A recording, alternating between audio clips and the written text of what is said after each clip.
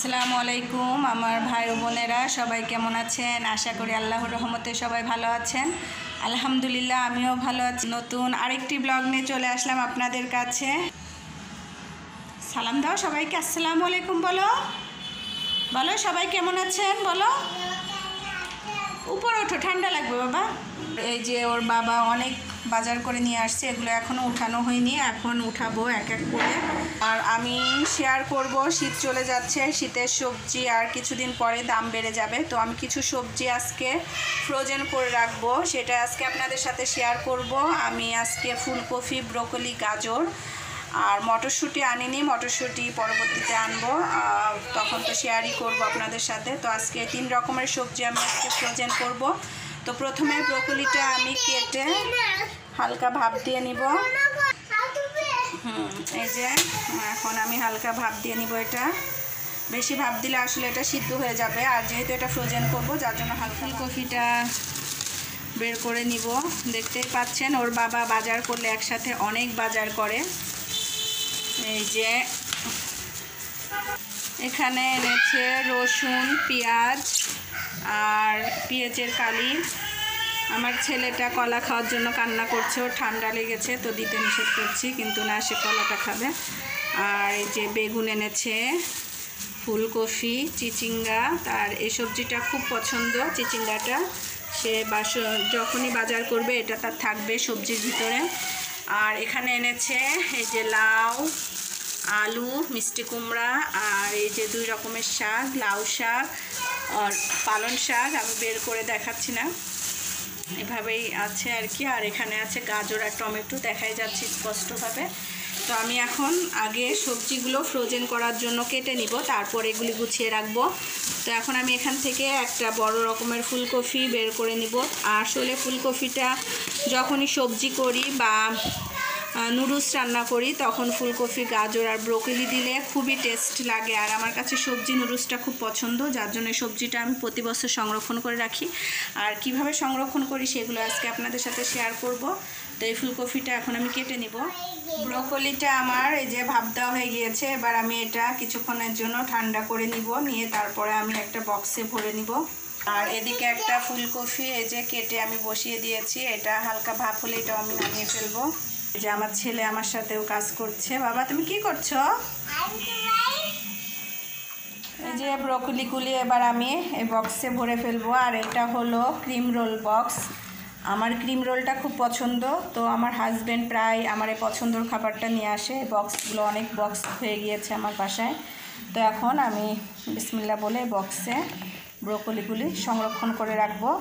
আর ছোট ছোট করে কেটে রেখেছি। আমার যখন যতটুকু লাগবে তখন ততটুকু বের করে নিলেই হয়ে যাবে। যার জন্য কেটে নিয়েছি। কাটার ঝামেলা আর হবে না। যার জন্য এভাবে পিস পিস করে রেখেছি। তো এভাবে রাখলে প্রায় এক বছর রাখা যায়। আর এক বছর রাখলেই আনাফ পরের শীতেই তো আবার পাওয়া যাচ্ছে। আর এই এখন শীত প্রায় শেষ। কিছুদিন পরেই দাম বেড়ে যাবে। যার জন্য আমি প্রতি বছরই এভাবে রেখে দিই। সবজিগুলো এবার আমি গুছিয়ে নিব। এখানে আমি পেঁয়াজ ঢেলে নিলাম, রেখে দিলাম যে পেঁয়াজ আজকে নিয়ে আসছে, আর এগুলো হলো আগের পেঁয়াজ। তো আগের পেঁয়াজগুলো পলিথিনে ভরে ফেললাম। এটা খেয়ে ফেলব তাড়াতাড়ি, আর এটা তো কিছুদিন রেখে খেতে হবে। অল্প কয়টা আলু আছে। আলুগুলো খেয়ে ফেলতে হবে, নষ্ট হয়ে যাচ্ছে। যার জন্য আলুগুলো সরিয়ে রাখলাম। এখন নতুন আলুগুলো এখানে ঠেলে দিব। এবার এখানে যে আজকের আলু যেগুলো এনেছিল সেগুলো রেখে দিব।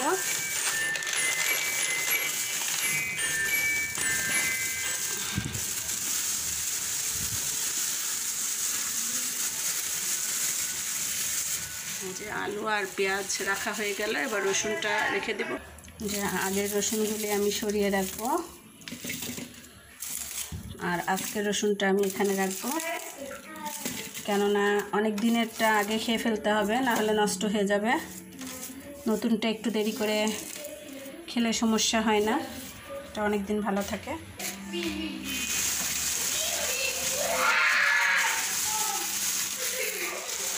আর আমি ইন্ডিয়ান রসুনটাই খাই তাড়াতাড়ি খাওয়ার জন্য। এই যে আমার রসুন, পেঁয়াজ, আলু রাখা কফিটাও ভাব দেওয়া হয়ে গেছে। এখন আমি বক্সে ভরে নিব, রেখে দিব। আর আজকে শরীরটা ভালো না থাকার কারণে ওর বাবা আজকে বাহির থেকে ডিনারটা এনেছে। যে সেভেন আপ এনেছে, আর এখানে এনেছে মায়া বিরিয়ানি বাচ্চারা বিরিয়ানিটা খেতে খুব পছন্দ করে যার জন্য বিরিয়ানি এনেছে। তো আজকে আমরা বাহিরের খাবারটা দিয়ে ডিনারটা করে যে ফুলকপিটা এখন আমি এই দুটো বক্সে রেখে দেবো। বললাম তো সব বক্সগুলোই আমার ক্রিম রোলের বক্স আর বক্স আমি ফেলি না। কেননা অনেক সময় ফ্রিজে রাখার জন্য বক্স লাগে যার জন্য এগুলি আমি খুব যত্ন সহকারে পরিষ্কার করে রেখে দিই। তো বক্স নেব আর এখানে আমরা। মেয়ে বলছে আম্মু এটা লাবণী প্লাজা। তো ঠিকানা দুই বাই দুই লাবণী প্লাজা রূপনগর আবাসিক মোড় মিরপুর ঢাকা। এখান থেকে এনেছে এটা হলো ঠিকানা। তোমারটা আছে বাবা তোমারটা দিবে। আপু দিবে তুমি রাখো। রেখে দাও। দুটো বক্সে রেখে দিয়েছি আর এদিকে কিছু খাওয়ার জন্য। আর এদিকে আয়শা আর আয়ান বসা নিয়ে গন্ডগোল লেগে গিয়েছে।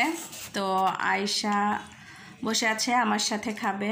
কিন্তু আয়ান ওকে ওর বাবার পাশে বসতে দিবে না, ও এখানে বসবে। তো আয়শা কান্না শুরু করে দিয়েছে। কান্না করতে করতে ওর বাবার পাশে যে বসল, দুই ভাই বোনের এভাবে গন্ডগোল লেগেই থাকে। আমরা খেয়ে নিচ্ছি ডিনার। বিরিয়ানিটা সত্যিই খুব মজা। আর বাহিরের খাবার তো মজাই হয়। এটা আমার ছেলে মেয়েরা খাচ্ছে। আর আমি এ পাশে এসে বসে পড়লাম।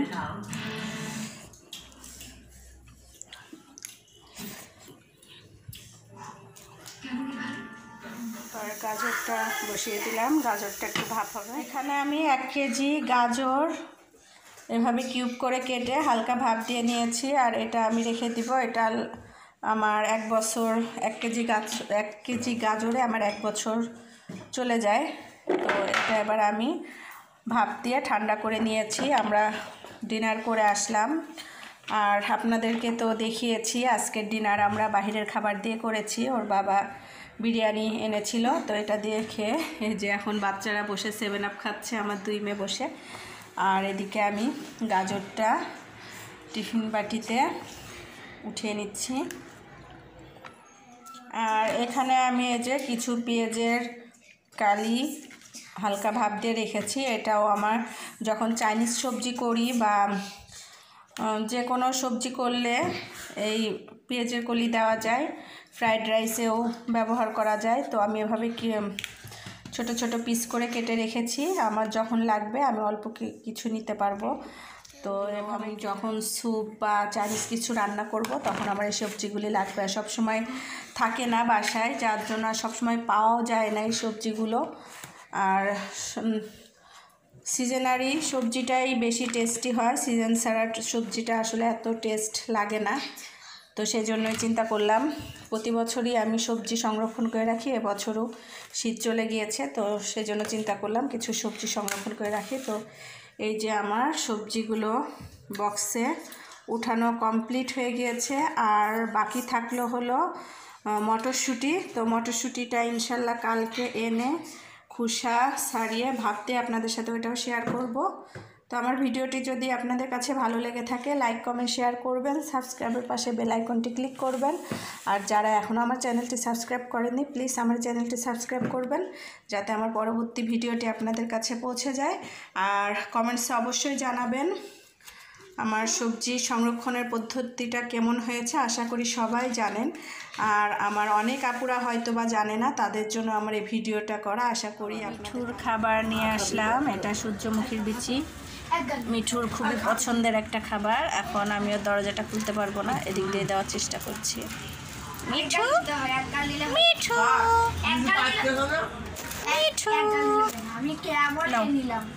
তুমিও খাও মিঠু, আমরা খাচ্ছি, তুমিও খাও। মিঠু মিঠু!